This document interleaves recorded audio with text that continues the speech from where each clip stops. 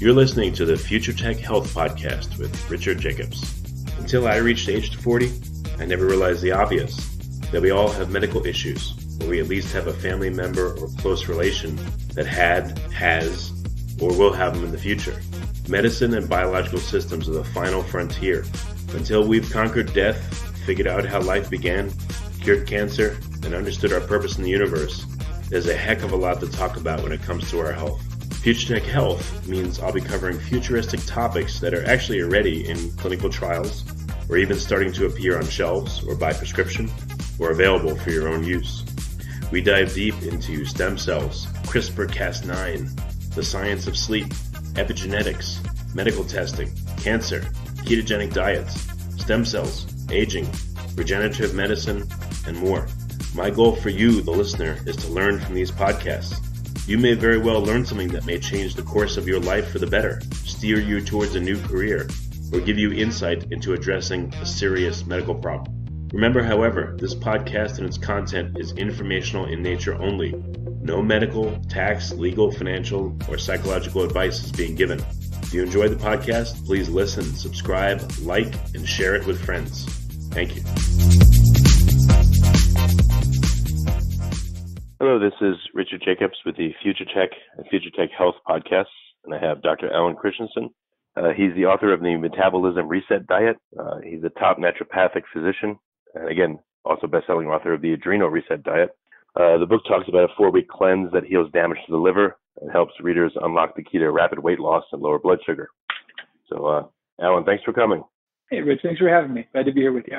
So, tell me your uh, your hero origin story because people that work in uh, the health field in a specific area always seem to have issues that led them there.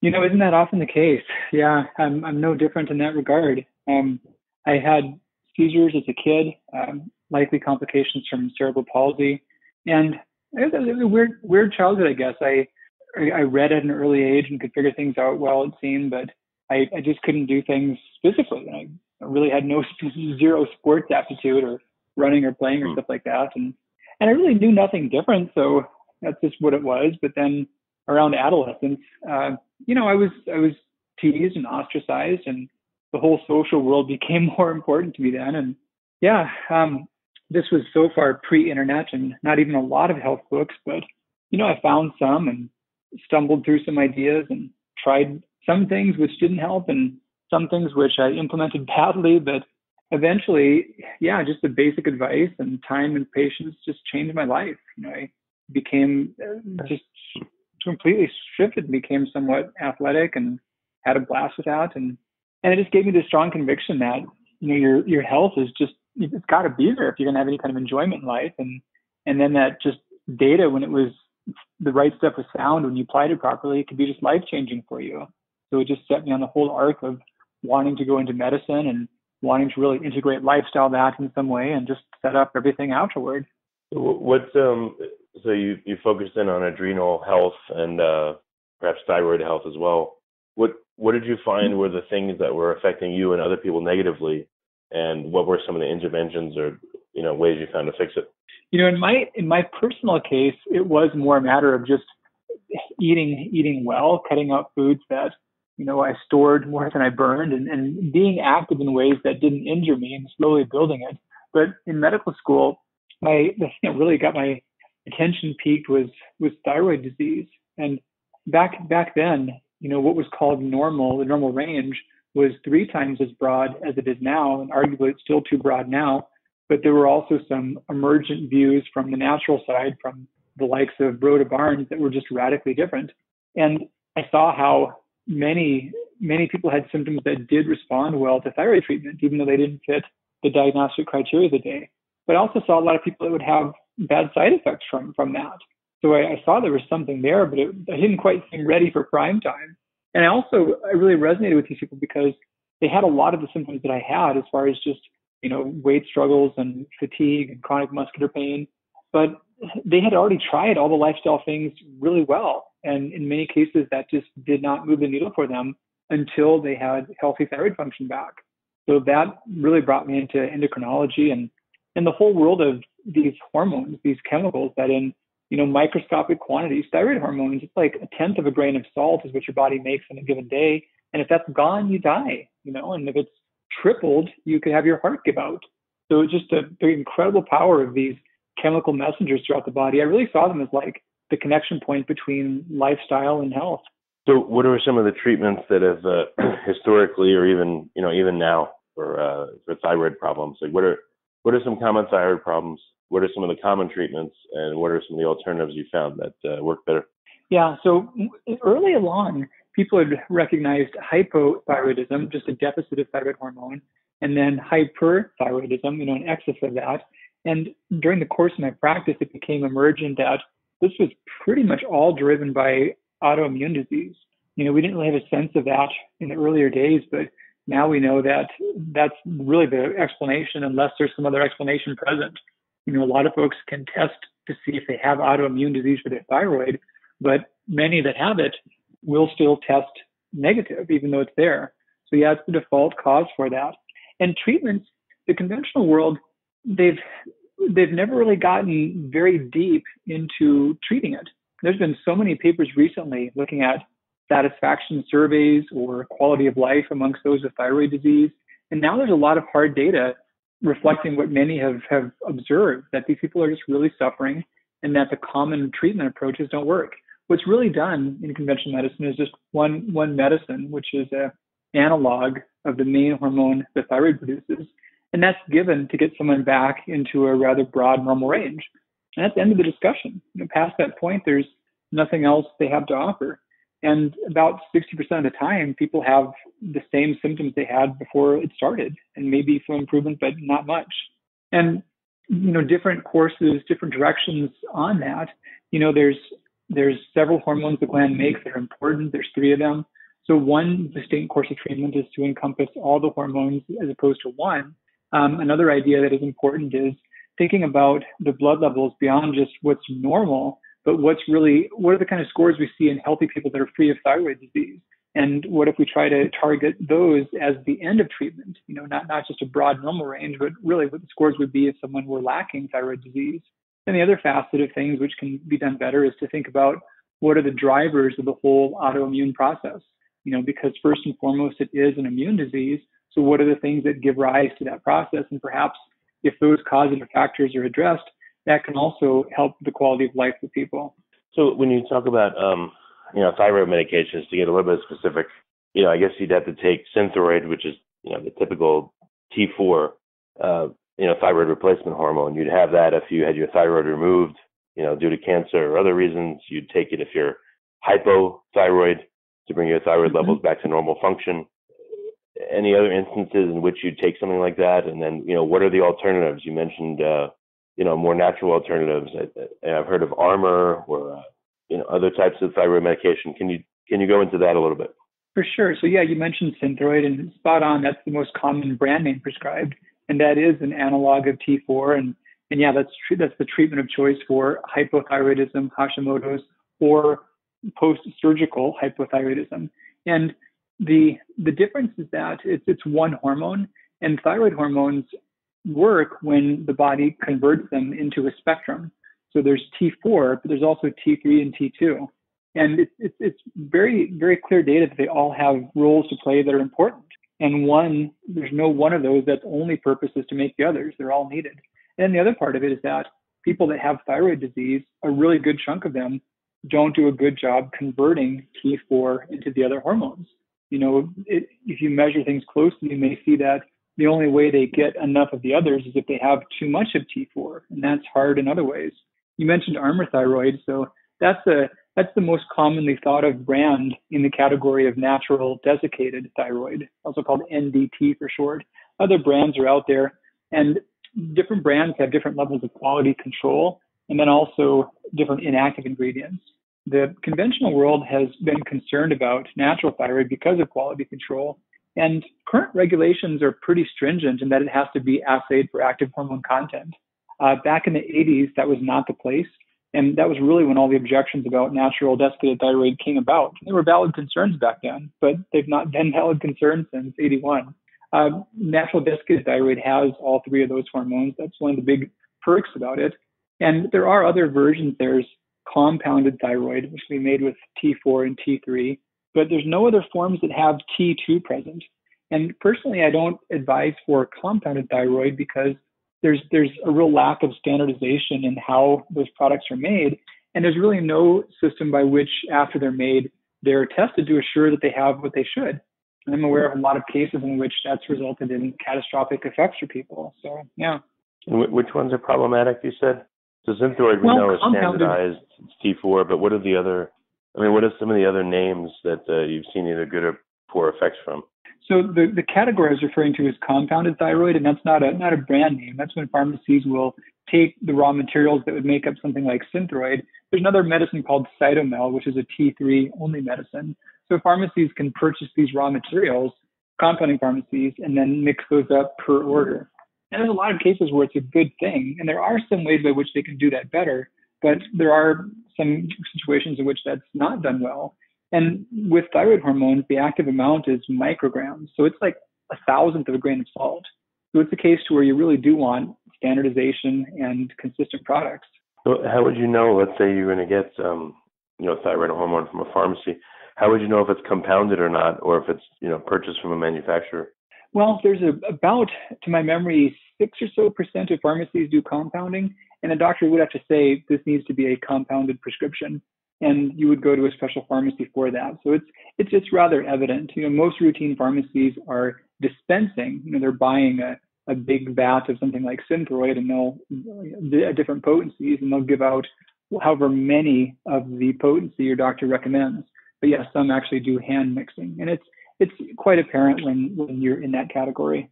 Natural desiccated thyroid, like like Armour you mentioned, there's other brands like WP Thyroid, which are really free of binders or fillers, and those are ones where they are as well or arguably more closely standardized than even ones like Synthroid, and they are pre-made. They're they're not hand mixed. Yeah, I wouldn't want someone at the pharmacy to be texting their uh, boyfriend or girlfriend and compound my thyroid hormone incorrectly. Well, you know, so think about the analogy I thought of is like, say you're making blueberry muffins, you know, and you got a cup and a half of blueberries for the batch. Does every muffin have four blueberries? You know, not necessarily. And that's what compounding comes down to. And you're talking about micrograms. You could have a muffin that has 4,000 blueberries and it wouldn't look any different. yeah. Okay. Well, that's, that's, that's very good advice.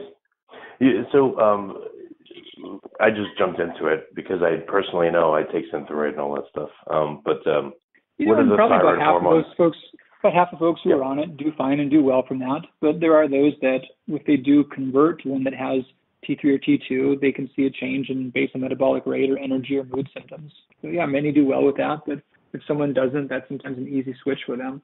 Well, that's what I want to ask you. So we, I just jumped into it as if people know, but they may not know. So can you talk about T4, T3, T2, reverse T3, and I've heard there's also T1 and what the role these things have in the body and why we should care. For sure. Yeah. Funny thing you mentioned reverse T3. I've spent the last week making like the most definitive thing I've ever written on that. It's about 15,000 words. It's about to come out pretty soon. So, yeah, so you mentioned the main thyroid hormones. And easy way to think about this, it's a story between iodine and tyrosine. So tyrosine is a common amino acid. We, we never really run out of it. We've got it in our muscles and lots of foods. We make that into a structural protein called thyroglobulin. And then thyroglobulin gets snapped some iodine atoms onto it. And that's what all these T numbers mean. It's thyroglobulin and then however many numbers of, of iodine atoms. So T4 is four of them. And the gland itself makes T4 and T3 and releases them both. And it makes about 90% T4, 10% T3 that it releases. Um, it also does release a little bit of reverse T3, and I'll come to that one. It's fascinating. And the body then takes those and pulls off more and more iodine as it uses them up. So after T3, it makes it into T2 and T1, T0, there's there's no no evidence that I've seen at least suggesting that T1 and T0 do anything. They're probably just part of the leftover process of getting rid of it and recycling it. But T2 does have effects upon controlling how the liver generates energy, how it burns fuel.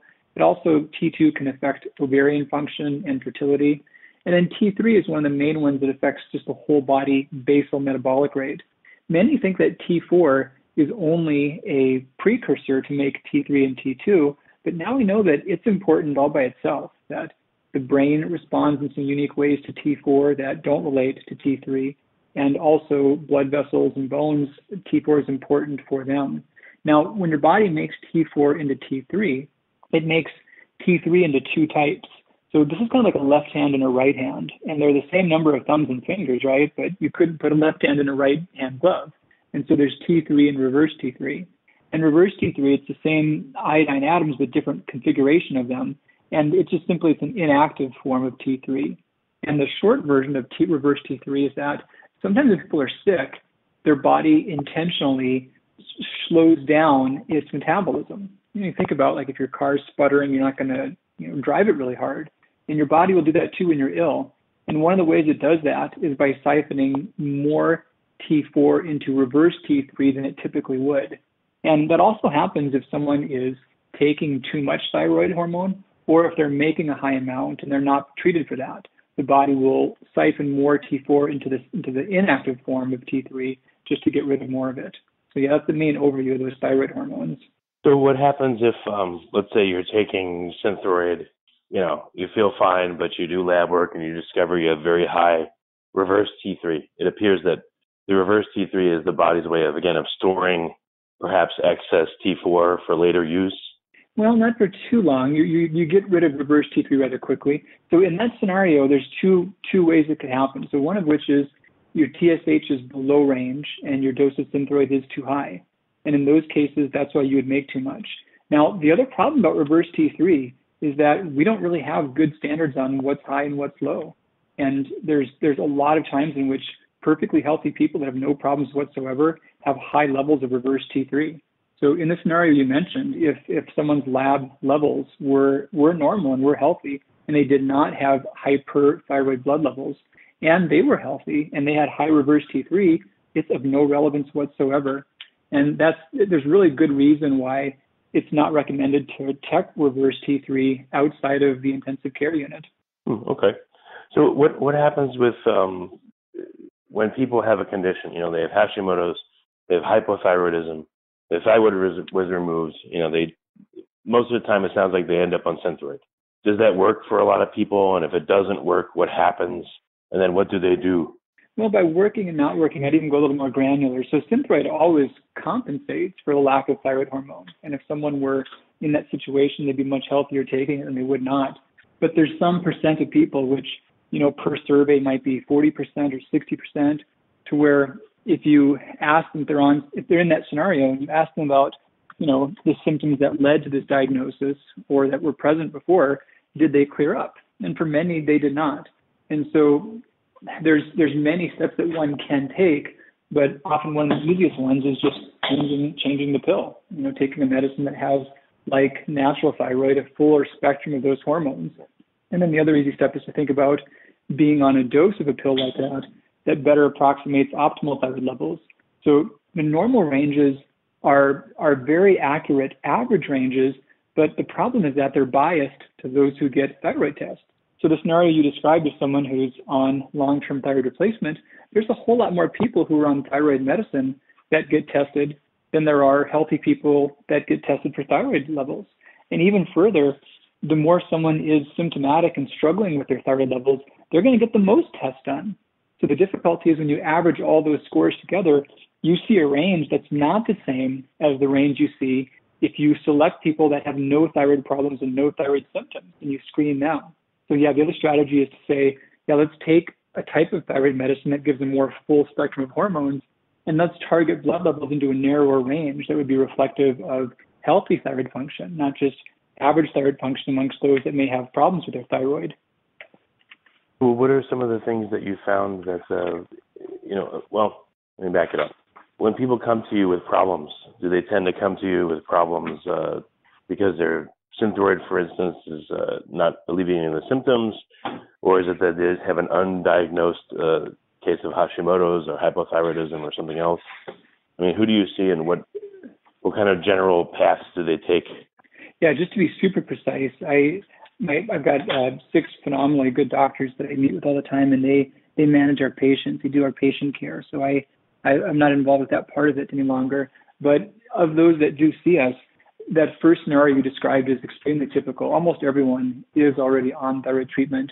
You know, they've been diagnosed and they're just not yet feeling their best, and so they're seeking out some of the way to go about addressing that. Uh, I can't. There, there's very few that come in with suspicious symptoms because most, most if they're at the level of just thinking, hey, something's wrong with my thyroid, they'll see whoever they're already seeing and just ask about that and explore that part. So yeah, most have already been diagnosed and on treatment for you know any length of time, but just not yet where they want to be. So what, what, what have you discovered though? What are some you know what's unique about uh, your discoveries? What have you found? What tweaks you know for what conditions? You know, I know it's not in all cases, but what have you discovered that seems to help people? The, the two the two steps that I mentioned were first and foremost, and they're not you know it's not all about the medicine, but it's that's something that someone's doing already, and they might as well take a pill that's going to work better for them. And then also the strategy, the second part of optimizing blood levels. Not only does it help with symptom reversal for many, but there are those who are their thyroid is underperforming, and they'd like to see not only not only they want to feel better, but they'd like their thyroid to take over more. And so when blood levels are better, that improves the odds of the thyroid functioning better by itself.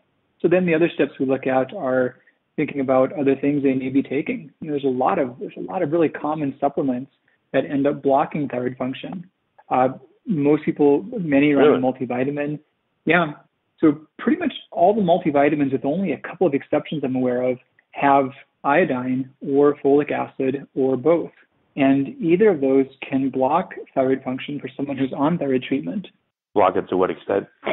Uh, it can be significant. It can slow it down by, you know, if they're on the amount of those things as commonly in a multi, perhaps 50 to 70% suppression of thyroid function.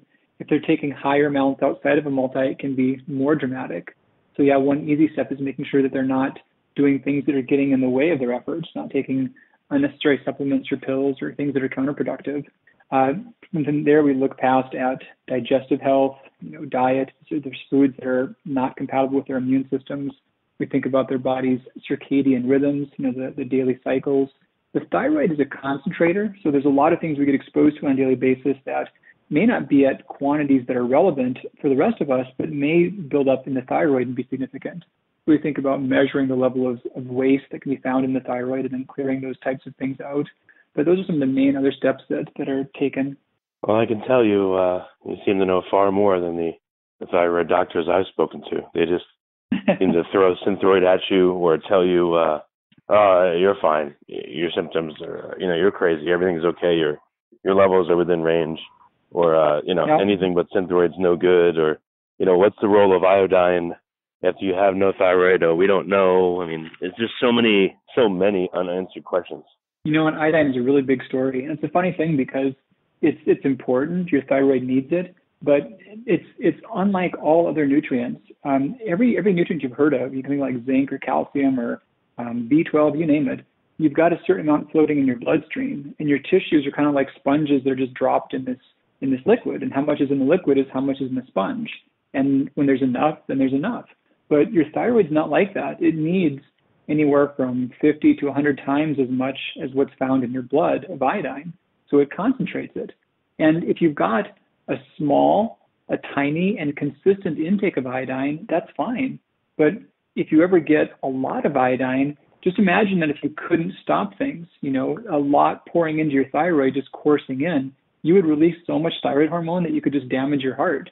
So your body has, it's just like a fuse. Your body has a fuse that's blown, like when there's too much current in the house. And so when you're above some intake of iodine, you blow this fuse and your thyroid just completely shuts off. And what we've learned recently is it's not all or nothing. You know, it used to be thought that that was only relevant for high doses of iodine, but now we know that small doses above some threshold, they're not so much just shutting it off completely, but they're just like putting on the parking brake. So um, I have a curiosity about some supplements. So if you have hypothyroidism or Hashimoto's or no thyroid at all, what is the role and the effectiveness of selenium and iodine? Two things that you know I've heard that the thyroid uh, needs. It it does need both, and the, thought is how much does it need, and how much do we typically get already? And then also, is there some of that found in thyroid medication? So selenium is important, and it's got a rather broad range of, of safety. You know, too little is bad for the body, but we're probably safe up to about you know 600 micrograms per day. And in most cases, we'll get between one or 200 micrograms in our diet. and supplementation rarely exceeds 200 micrograms. And supplementation is often a little hit or miss for how well it's absorbed. So in most cases, if someone's on reasonable supplementation and a good diet, they're probably okay on their selenium. If someone's selenium deficient, what happens then is they've got even a narrower acceptable amount of iodine. Then they, can, they can't handle even the tiniest excess or deficiency of iodine. Now, iodine, on the other hand, the range is probably about 1 to 300 micrograms for best amounts for maintenance. And most of us do get about 100 to 150 micrograms just in any diet. You know, good, bad, or sideways, we've got some iodine in that. Uh, multivitamins usually have 175 to 150 micrograms, sometimes 200 in prenatals. But thyroid medications have substantial amounts of iodine. You know, Synthroid is uh, 65% iodine. Uh, T3 medicines are 56% iodine, and then natural thyroid is about 2% iodine. So when someone's on thyroid meds, they've got a lot of iodine right there as well. And that total amount, the further it gets above that 300 microgram threshold, the more apt it is just to suppress their thyroid function. Yeah, that, you know that's like a big reveal. Is even the name T4, T3, et cetera, it hides the iodine component from most people's minds. Yeah. So uh, you know, like as you said that to me, that these medications have a lot of thyroid. I mean, sorry, have a lot of uh, iodine in them. I thought for a quick second, wait a minute, what? Oh, yes, that's right, because it's bound to the, the, uh, the fours and the threes. The yep. thyroid hmm. I, I, so what? Um, I want this call to help people. I really do. So, and and again, you know, I'm just one person, but I just I feel and have experienced a little bit of the landscape of thyroid issues, and it's a very difficult thing. You know, uh, I do know anecdotally from speaking to friends and myself and all that. A lot of times you're told again, "Oh, you're fine," or "You're crazy," or "Oh, you're just lazy," or whatever it is. And people have thyroid problems, and it seriously affects their life. So, what are some of the misconceptions that people have about thyroid issues? And uh, you know, I want to clear that up for people because I want people to get help and at least think, "Huh, okay, there's another way. There's something that can be done if I have this problem." You know, a big one is that if a doctor tested you, that everything is fine, and it's it's if your levels are normal, that's certainly better than if they're not. But both in terms of determining who who has thyroid problems and also who's optimally treated, the normal range can miss quite a bit. And I mentioned before about just how you know healthy people that have no thyroid issues have a much tighter, narrower range than than the normal range is considered. So the main thing we're talking about here is the TSH. There's different blood tests, and the TSH has the biggest difference between normal and optimal. Most labs today call normal between 0.4 and 4.5. Now, it's important to state that the TSH is backward, so the higher it is, the more your thyroid is underperforming and being yelled at to work harder. And then when it's overactive, the TSH goes low. Now, the low side of the scale is just exactly relation, related between normal and optimal. When it's below 0.4, that's not good. That means there's too much thyroid hormone. But there's a big difference between the high side. So above 4.5, that's definitely a problem. But healthy people don't really have TSH scores higher than two. So if someone's considering if that's a cause of their symptoms, or if they're on thyroid treatment saying, hey, I'm not sure if I'm at the best treatment level, and their TSH is between, it's normal, but it's between two and four and a half, that may be the reason why. Yeah, and most tests, it seems like they just look at TSH and, I mean, do they look, they don't seem to look at uh, T3 or reverse T3 or T2 or you know the, the thyroid tests. antibodies yeah, or anything, a, unless you do a full panel. Yeah, correct. So what would be in a full panel? What would you want to see if you were going to be, uh, you know, working with somebody? What should they request? You know, I, I wish I wish T I wish T2 was available. It's not commercially available as a lab test. Thyroid antibody panels, which include thyroglobulin and antithyroglobulin. There's also, I'm sorry, I didn't clarify. There's anti-thyroid peroxidase and anti-thyroglobulin. There's also thyroglobulin, which is not a thyroid antibody, but it's a marker of thyroid cell death. The other concern about thyroid function is that thyroid cancer is the most rapidly increasing cancer in North America by far. So thyroglobulin gives clues about damage to the gland from swelling, nodules, goiter, or cancer. And, and then the active hormones, the free T3 and free T4, they can be helpful for sorting things out as well. So again, what what are some of the misconceptions people have when they're seeking treatment, when they're having, you know, when they feel well, so, you know, so like another they, another big problems. one. Another big one is the distinction between hypothyroidism and Hashimoto's. You mentioned those terms a few times, and so when someone's gland is underactive, we call that hypothyroidism. And the reasons for that are really Hashimoto's unless proven otherwise. If someone does have their thyroid removed, that's an obvious cause. The most common cause for removal is suspicion of cancer. And in most cases, that's an, a, a byproduct of chronic inflammation from Hashimoto's. The other common reason that's not Hashimoto's for low thyroid would be the reaction from medications, the two big ones being amiodarone or lithium. And in many cases, they harm the thyroid because they trigger Hashimoto's. So when someone has thyroid antibodies measured and they come back positive, that confirms there is an autoimmune attack, which we would call Hashimoto's. However, half of people with Hashimoto's never have measurable antibodies. So the absence of thyroid antibodies does not rule out Hashimoto's. So yeah, unless there's some obvious reason for hypothyroidism that's known, we assume that it's Hashimoto's unless proven otherwise. Hmm. So uh, how often does uh, you know thyroid hormone supplementation work for people with Hashimoto's or with uh, hypothyroidism, and you know what kind of problems do people run into, and what kind of tweaks might they need in certain circumstances? Yeah, yeah. How often does it work, and how often can it work? You know, it's, and it does it work. That was that 40 to 60 percent number I threw up before, but I would really argue that it it can work. I'm sorry, I shouldn't just say that thyroid hormone supplementation, but when that's part of overall care, people should have the expectation that they can regain the level of health they had before the diagnosis happened, before it all came about. And that can involve uh, a more comprehensive type of thyroid medication, being more strategic about the blood levels, about dialing in those micronutrients. Also, the circadian rhythm, the cortisol rhythm is an important thing. So, cortisol is a hormone that we make a lot of in the morning and we shut it off at night.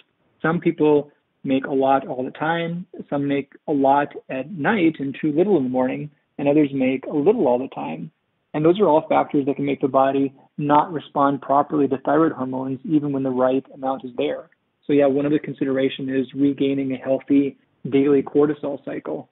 So okay, hmm, interesting. So how would uh, let's say someone's taking Synthroid and they take it at a time when their cortisol is high versus when their cortisol is low?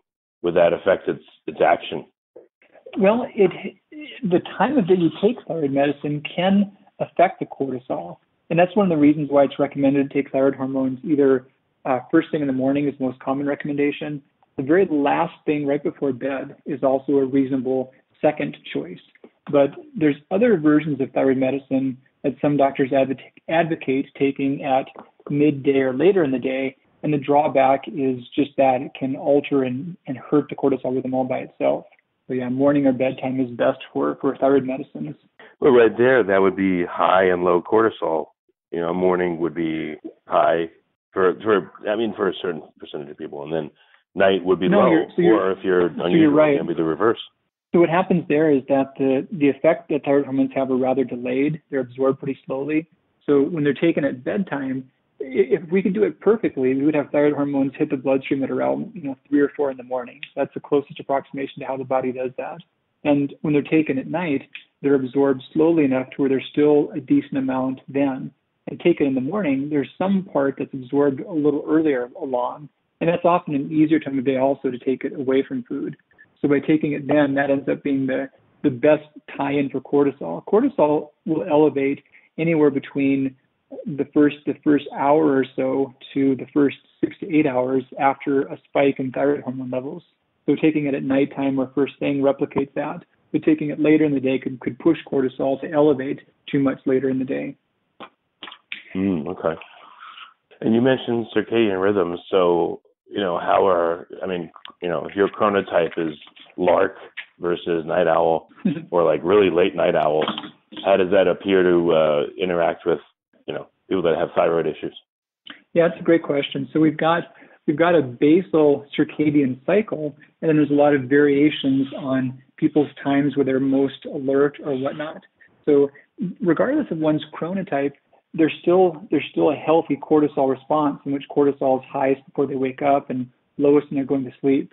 For some people, that might be slightly different times of day. It might be a little later than others, for or earlier than others for those who are that more that lark chronotype, or a little later for those who are an owl chronotype, but they still have that same underlying structure to it. So if someone's waking up and that's when their cortisol is low, that's that's a phenomenon that correlates with a lot of health problems, including just a block of thyroid hormone. There's quite a bit of data saying that that may be one of the strongest predictors of earlier death. You know, one the Whitehall 2 study looked at that, and they looked at it as a way to gauge overall stress response. And what they concluded was that the they they watched a large number of British civil servants over about a six-year period, and just they took a lot of health measurements along the way. And you know, it was such a big number of people that there were some that died during the course of observation. And then they went back and said, okay, of those who died, which of these things we were measuring best predicted that? And the second strongest predictor was smoking status, which is uh, bad for your health, not a surprise. But the strongest predictor was the circadian rhythm. And they thought about that as a function of the body's chronic stress response, the body's stress resilience. Huh. Well, the more I ask you, the more questions there are. But um, yeah. it just shows me, like I said, the the I don't know what planet you live in, but you live in a more advanced planet than the than the one I've been running around on. Because, like I said, I, I don't hear any of these things from uh, from talking to, to endocrinologists. Hmm. what are what are some good questions people can ask to get better help than they may be getting right now? Good questions to ask their their current physicians, or right, yeah, their current physician. You know, uh, what should they ask them to help themselves and to evaluate if their physician really is is hip to what needs to be done, or if they're just following the you know the lowest common denominator standard of care. You know, that seems to help very few. You know, that's a really good question, and it's not one that I've thought of much before. Something that does come to mind is just to think about what what would that doctor see as their goals for this person's health and their expectations. And if the goals are, you know, not to be sick and leave it at that, you know, that's that may be something to where the doctor could do a good job at that. But if your goals are loftier, if your goals are to really feel like you did before you had a certain diagnosis or really manage a symptom or just maximize your health span and not succumb to chronic disease and and and if your goals were to manage that through lifestyle you know those are good things you'd want to be aware of and if you were I, I guess that's more of a matter of just eliciting a response to know what the doctor's biases are as opposed to bringing out some type of an approach the doctor would not do otherwise but if the doctor's goals or expectations did not meet yours, then I think you just want to be aware of that as soon as possible and you know find someone where you did have a better alignment in those ways. Yeah, the question in every profession, it seems to me in my life, is how do you find someone that's really good if you feel like you have a problem that just is an outlier or is very difficult to solve. So that's why I want to ask you in the world of, you know, endocrinologists, how do you know that someone's good or not? Are there any questions you could ask to uh, evaluate that person? Well, and it may not even be per se to evaluate them, but just like how good of a fit they are to your goals. They might do a great job for someone that is in a different situation that has a more perhaps a severe urgent need that needs to get back to a stable level. But but yeah, being clear on where you want to go to and what you'd like to do and and also there's always a certain amount of time frame. You know, so if it wouldn't be fair to say, you know, I've been at this this protocol now for one month and I'm no better. This is you know what's up. You know, give give give a sense about what is a reasonable time frame for you to see how much recovery and which symptoms should recover and to what extent, and then keep tabs on that. And if the time frame is played out and maybe you've made some headway, it might be time to pivot with them and maybe they got to rethink another direction. But if you made no headway or regressed and that time frame has come and gone, then see if they have other things to consider. And if not, maybe matter of seeing someone else who would be more aligned with what your goals are. Oh, that's good, and time frame is important. So, in the world of uh, you know thyroid issues and and fixing them or getting improvement results, it's not a fast thing, is what you're saying. It needs I don't know a month, several months, really to see what's happening, or you know I know it's varies for everybody, but is this more of a long term, so there's several month thing? Well, there's two cycles to that. The first part is having, you know, getting back to optimal thyroid levels. And then the second part is once that happens, there's a certain lag time for the body to really respond to those levels and function well again. And there's two categories of symptoms. There's those that are more chemical in nature, like your energy levels or your alertness, and there's those that are more structural in nature, like the health of your tendons and ligaments, or for those that have had hair loss from thyroid disease, the hair coming back again. And the general rule of thumb is that the more chemical type symptoms, they may respond quite quickly to being back at optimal thyroid status. They may really clear up in the first few weeks of that. But some of the structural symptoms, there's a lag time of old unhealthy cells that grew during the time of bad thyroid levels, those to go away, while new healthy cells that are now growing under the conditions of better thyroid levels, the new ones to come in. And for some parts of the body, that could be a year or so for hair health, for example, or if someone had bone problems, that could be a few years. So, yeah, just knowing what symptoms are related to that and then how long after optimal thyroid levels they should take to respond. All right. Well, very good. So, uh, what are some resources for listeners where they could start this journey and find out more and take charge of their own health? What should they do? Um, you know, easy thing as far as content that, that I've put out, uh, drchristianson.com is my main hub for that. And pretty much any question you could think about relative to thyroid disease, if you just Google Alan Christianson and, you know, how much iodine do I need? Or Alan Christianson and what are my best thyroid levels? You know, I've, I've probably written a three to 5,000 word post on all those things and done videos and summaries for that. And, and that's all just free stuff that anyone can access online. Okay, very good. Well, Alan, thanks so much for coming on the podcast. I really appreciate it. Yeah, my pleasure. Thanks again for having me.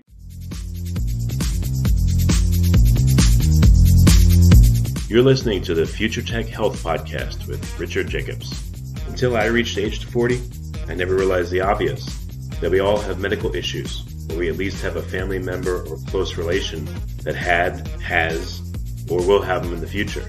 Medicine and biological systems are the final frontier. Until we've conquered death, figured out how life began, cured cancer, and understood our purpose in the universe, there's a heck of a lot to talk about when it comes to our health. Future Tech Health means I'll be covering futuristic topics that are actually already in clinical trials, or even starting to appear on shelves or by prescription, or available for your own use.